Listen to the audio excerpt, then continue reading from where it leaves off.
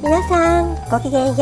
アランチャンネルへようこそ。アランの住んでるお家の近くも雪少し積もってます。うっすらと雪化粧した公園をお休みの朝にアランと一緒にお散歩した様子を今日はお届けしようと思います。アランと住んでいるお家は普段はめったに雪が積もらないので雪がこうやって降ると歩くのちょっと滑ったりして怖いです。アランも今少しコテンと転んだりしていきましたね。でも青い空に白い雪本当に綺麗ですよね。今日はそんな素敵な雪景色をアランと一緒にお散歩してみたいと思いますので是非お楽しみに。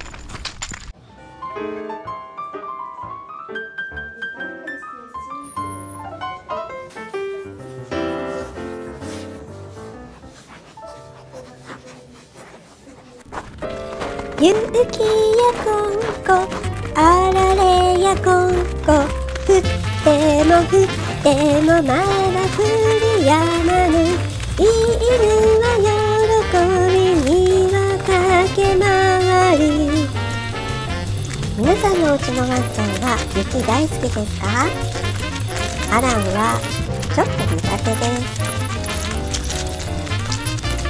寒がりのアランはこれだけ着ててもまだ寒いのかブルブルブルブル震えてます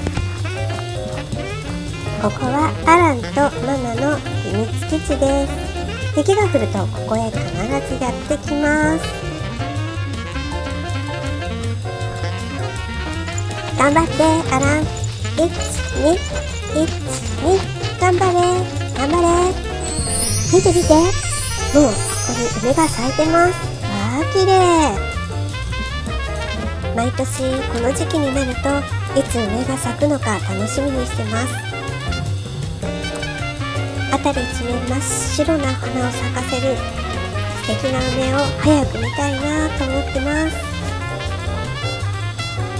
こちらは少しピンクがかった椿です。アラもキョロキョロキョロキョロ。何考えてるのかな？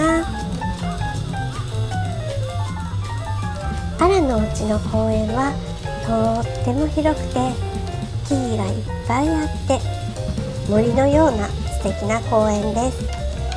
一周回るとだいたい4キロぐらいあってゆっくり歩いたり足を止めてみたり景色を見たりお写真撮ったりしました。雪の上がツルツルツルツル滑ってアランがスケートやってるように歩いてますね。犬を飼っててこんなに広い公園自然がいっぱいある公園をアランと一緒にお散歩できることはとっても幸せなことなんだなといつも散歩をしながら思います。いろんな季節のお花だったりとか紅葉だったり本当にいろいろ景色が変わるので私はこの公園が大好きです。犬を飼っていなかったらこんな風にお散歩に行ったり景色を見たり自然をめでたりすることまずなかったんじゃないかなと思ってます。ほんと犬を飼っているとこうやって自然と触れ合うことができてとっても幸せです。今日も最後までアランチャンネルご覧いただきありがとうございます。よかったらグッドボタンチャンネル登録コメントぜひよろしくお願いします。バイバイ。またね